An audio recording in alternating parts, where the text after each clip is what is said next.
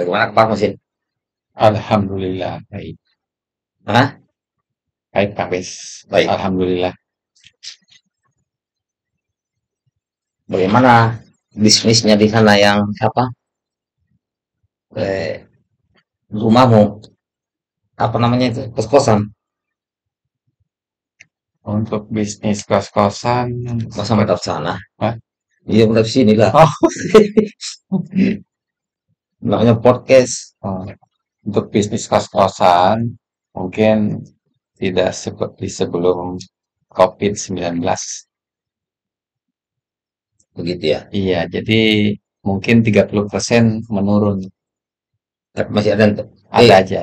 be- berapa kamar gitu yang Kalau saya sih kontrakan cuma 7, yang terisi berapa yang terisi cuma 5 berarti yang dua kosong kosong. Kamu jadikan warung itu Iya, ya kosong juga. Sekarang kosong. kan li, kan tujuh Mm-mm. nah yang 7. jadikan warung berapa Satu. berarti sisa enam Mm-mm. dari enam itu yang terisi berapa Yang terisi cuma 4. berarti yang dua belum Berdua dulu. sebulan berapa 500. airnya biar sendiri mereka Enggak. listrik Listrik bayar. Bayar oh sendiri. setiap kamar ada tokennya atau beda-beda Ada yang tokennya beda-beda. Ada yang satu token. Maksudnya ada tiga kontrakan itu satu itu satu token. terus bayarnya gimana mereka Eh, itu ditanggung sama itu saya. Cuma dia memberi tambahan eh, jadi 550. Hmm peralatan kulkas Mm-mm.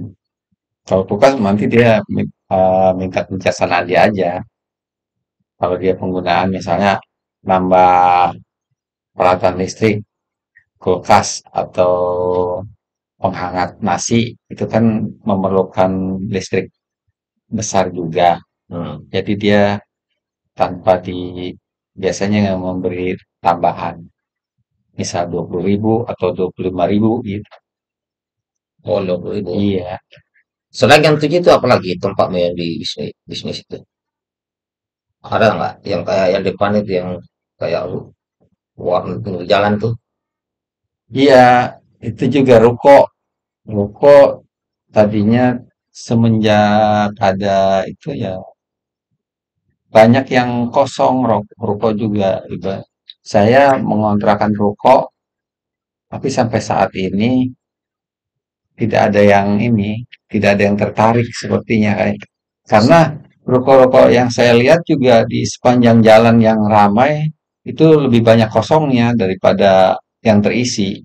hmm. Gitu. per bulan berapa kalau kok Kalau ruko per bulan mungkin karena tahunan sih.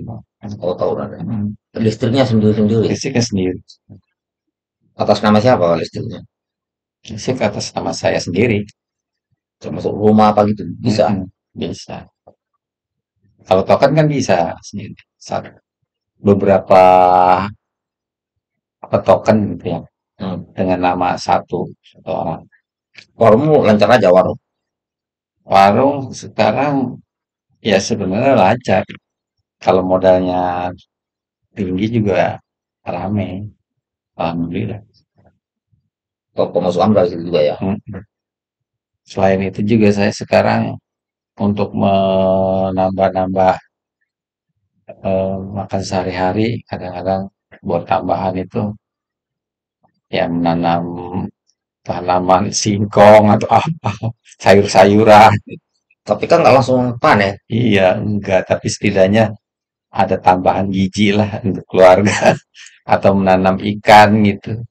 Hmm, kalau dulu yang apa eh yang jualan-jualan di pasar malam itu loh Mm-mm. itu banyak hasilnya ya Itu waktu sebelum PPKM kan alhamdulillah Bang Bes eh, ya kalah lah gaji manajer.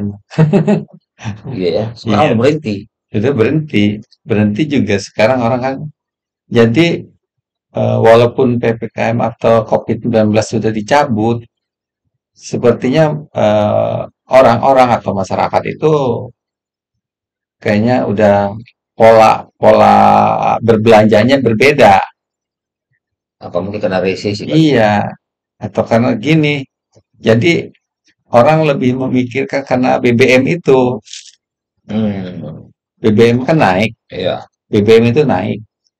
Jadi kalau jangan ibarat makan jangan berlebihan. Kalau dulu kan orang Hmm, makan ini berlebihan, ini berlebihan, makanan yang masih ada dipegang juga masih pengen beli lagi. Kalau sekarang mah cukup untuk makan udah cukup, karena untuk biaya perjalanan itu kan perlu bensin. Nah itu hmm. yang lebih mengutamakan mereka itu dalam itu jadinya apa Pasar pasar malam itu makan cukup mana? aja udah sudah cukup bagi mereka. Kamu pindah ke mana? Ke Medlan Cibitung, apa mana dia pernah kita datang itu? Ada sebagian-sebagian yang informasi ada, tapi ya girohnya itu kurang ya. Tidak Nggak, seperti nggak dulu ramai lah ya. ramai gitu ya. Artinya orang eh, ada rasa segen atau bagaimana malas atau Masuk untuk itu. untuk apa ya jalan atau keliling sekedar cuma keliling. Hmm. Artinya 30% lah menurun. Kan di Sapan Lapak katanya di situ yang dulu tuh. Iya. Iya, lapak juga banyak yang kosong. kan. Karena kan Powang di situ dulu. Sekarang masih. Enggak. Baik, semua bisnis Iya. turunnya. Jadi eh, karena sekarang kan eh, penjualan orang ada yang lebih melihat di online, ada yang melihat online, walaupun tidak semua orang melihat online. Hmm. Tapi ketika eh, ingin berbelanja dengan ibaratnya berkunjung ke pasar dalam arti non online ya, Hmm. mereka itu memikirkan masalah bensin itu harus dipikirkan dalam keluarga itu karena peng- terus terang ya pengeluaran bensin dalam sehari aja ya uh, minimal juga saya sepuluh ribu Hmm. iya artinya satu liter bensin itu habis sehari bayangkan kalau sebulan ya gitu. Berarti udah nggak gorengan di tempatmu sekarang? Masih enggak iya enggak kayak dulu dulu. Hmm, Berarti mah sehari-hari warung warung aja sama yang bulanan itu yang iya kos-kosan, kos-kosan yang kontrakan. Hmm.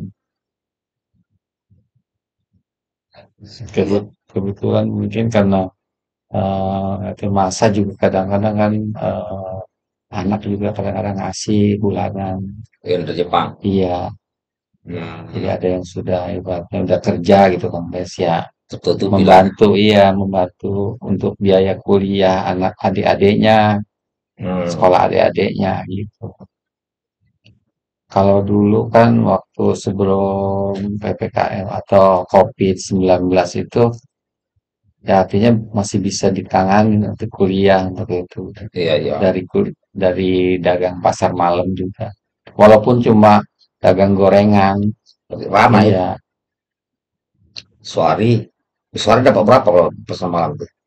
pasar malam itu sehari kan eh, 500 sampai satu juta itu bisa dapat Itu iya itu untungnya atau atau kotor modal? kotor Hah? kotor modalnya kan eh, 30% dapatnya 70% gitu lah Tapi kan lebih gede dapatnya gitu. Oh, Keuntungannya. misalnya modalnya 300, Iya, dapatnya dapat 700. dapatnya 700. Iya. Ini kan ada lebih. Iya ya. Kalau sekarang mah kebanyakan orang sekarang eh, ada modalnya doang. Hmm. Setelah itu seminggu dua minggu bukannya makin naik makin turun. Mudah-mudahan aja bertahan gitu. Ngeri sekarang ya. Iya, karena nggak pasti ya sekarang.